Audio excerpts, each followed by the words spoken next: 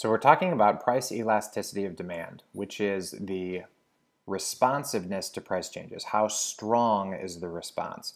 If you have what we call elastic demand, price elasticity of demand, that means there's going to be a strong response to a change in price. Whereas uh, if it's if it's inelastic demand, then that means that there's going to be a weak response to a change in price. So um, I usually talk about prescription drugs here. If you need prescription drugs and the manufacturer decides to raise the price, you're not going to be very sensitive to that. It's a prescription, you need it, so you're going to buy it anyway. Likewise, if the price drops a lot, you're not going to go out and stock up on prescription drugs because you really only buy them when you need them. Okay, so that's kind of a real easy example. When you think of inelastic demand, think of prescription drugs. So that is the RX, prescription drugs. Now here's the formula that we're going to use to arrive at the coefficient of elasticity. You take the percent change in quantity demanded of product X over the percent change in the price of product X. So this basically works out as stuff over money. So that's how it's kind of easy to remember. Stuff over money. Okay? Um, and that's going to give you that's going to kind of give you the good math. So you always got to remember what's in the numerator and what's in the denominator. Stuff is in the numerator, money is in the denominator. So there's a bit of a problem. So if we have one uh, one demand curve, say, okay, and your demand looks like this, there's actually different elasticities at different points. So we said that it's a change, right? Well, you can imagine if you go from here to here, um, you're going sort of down, and here to here, you're going up. So since we're using percentage changes, you can imagine if this is 10 and, and this is 5, right? And you'll forgive the uh, not being to scale. But here what we've got is a 50% decrease or a 100% increase. So that's problematic since we're using the percent change in price on the in the denominator, it gets really goofy um, unless we come up with some sort of way to figure things out. And the way we do that is by using what we call the midpoint formula. It takes away the fact that if we use if we don't use the midpoint formula and all we talk about is change, then we wind up with a different elasticity if we're going from a high price to a low price than if we're going from a low price to a high price. That would be problematic. This by taking the sum of the quantities and dividing by 2, it gives us the average. Okay, so that's the idea behind the midpoint. Now, just remember that we're going to use percentages. That gives us a unit-free measure. Um, and it helps us compare our responsiveness across products. So we can compare, you know, milk to bowling balls, even though they're very different. But if one has a, has a different elasticity than the other, and we know what, what that means. Also, we're going to use absolute values, so you can ignore the signs for elasticity of demand. Now, if our coefficient is greater than 1, then we're going to call that demand elastic. If it is equal to 1, we're going to call it unit elastic. That's a very rare case. Um, or if, if, it is less than 1, then that's going to be inelastic. Um, and then we have our perfect uh, elasticities, which we'll talk about in a second. So um, let's see what this looks like uh, from a perfect, perfectly inelastic. So what that means is imagine, and you'll excuse my dog barking in the background, imagine that the price rises from 3 to 10. Okay? What quantity demanded did not change at all. What that means is that there's absolutely zero sensitivity to the change in price. Okay, so that's an extreme case. What that means is, you know, the price went up by triple and the quantity demanded didn't change at all. Likewise, here, what we get is perfect, uh, something that's perfectly elastic. So we had perfect, perfectly inelastic before. Now this is perfectly elastic. So our price didn't change at all, but our quantity changed a great deal. So we have no change in price at all, but a great change in quantity.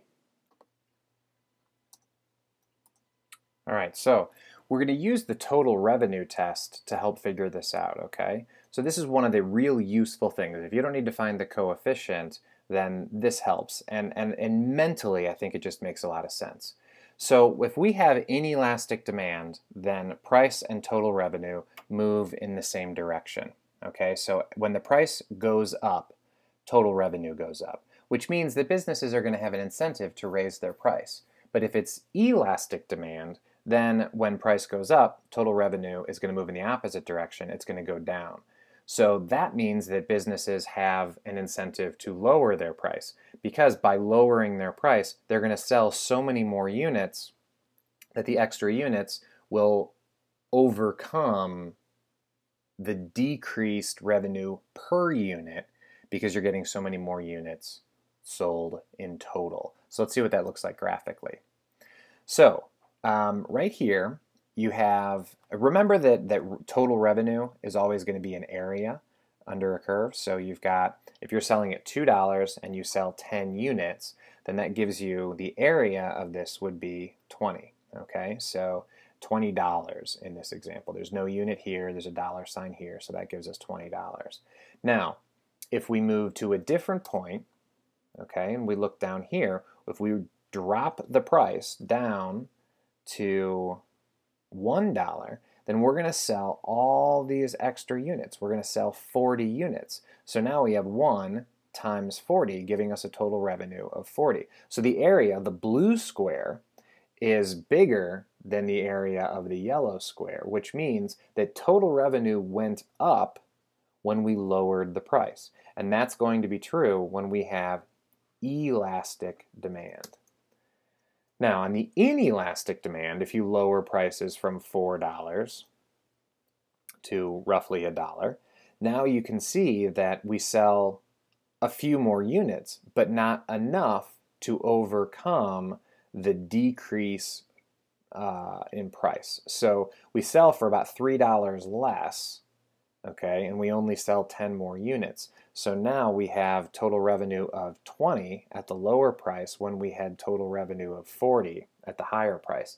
So here, businesses are not going to have a very much incentive to lower their prices. Of course, this is total revenue, and without cost figures, we can't do much because businesses aren't interested just in maximizing revenue, of course. They're interested in uh, maximizing profit.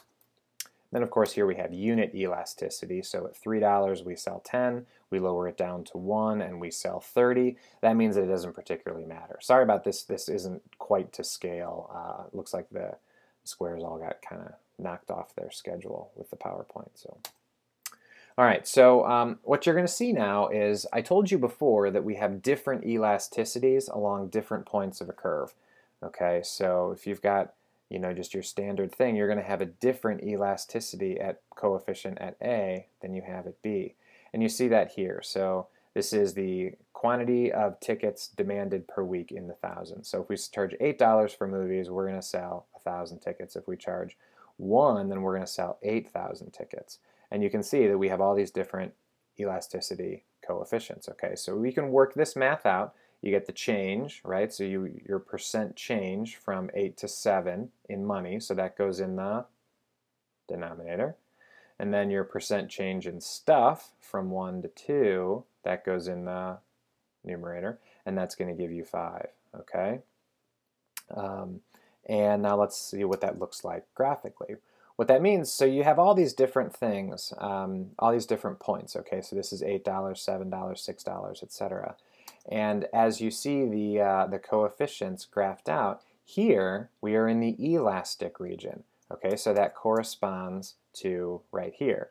Here we have our coefficients greater than 1, that's elastic. Then we get to the point of unit elasticity, which is where our coefficient is equal to 1. And then in the lower right portion of the curve, we have our inelastic region. So what that means basically is the lower price gets, the more inelastic we're probably getting. Okay, so other than the perfectly vertical, oops, the perfectly vertical and the perfectly horizontal, um, which do have constant elasticity coefficients, other than those situations, we're going to have different elasticity coefficients at different points on the line. Now, we'll compare this to the total revenue test. Our total revenue is rising as we lower the price while we are in the elastic zone of this graph. Then we hit the unit elastic, which is where our total revenue maxes out. And once again, I'm sorry, this has shifted just a little bit.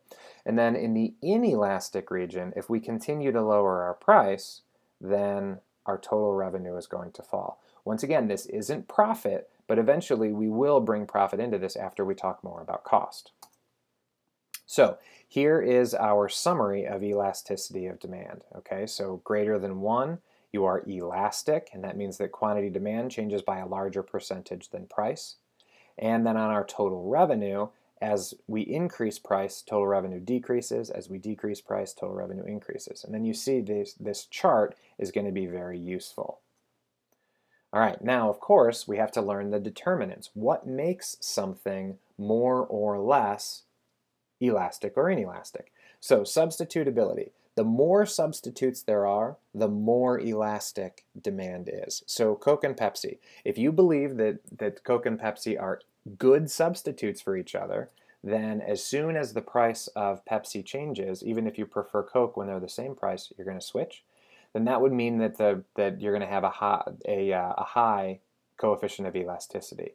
If there's lots of substitutes, then elastic demand proportion of income. So let's imagine that staples get a little bit more expensive. So right now a staple costs about a hundredth of a penny, right? So if it becomes two hundredths of a penny, is that going to change the number of staples you use? No, because that is such a small portion of your income. However, when you are buying a car, which would be a relatively high proportion of your income, if the price of that goes up by that same amount, right? So the price doubled of staples, um, if the price of cars doubled, that would dramatically uh, dramatically change, I imagine, your purchasing of that car.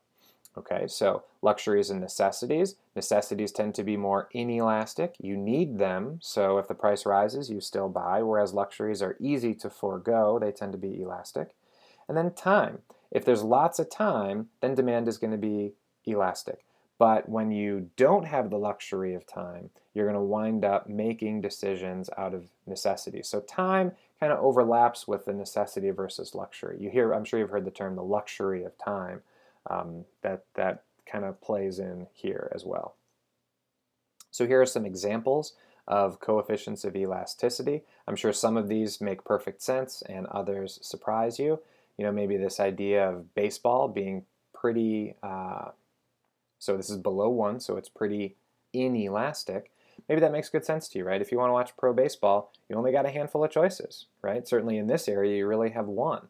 Um, now, if you consider high school baseball a good substitute, then all of a sudden there's lots of choices. So clearly, if we're inelastic, then that means that most people do not consider high school baseball or even things like the Grizzlies and the Rascals particularly good substitutes. And they must feel that it's pretty important. They wouldn't consider their baseball tickets uh, as luxuries. They'd consider them a little bit closer to necessities.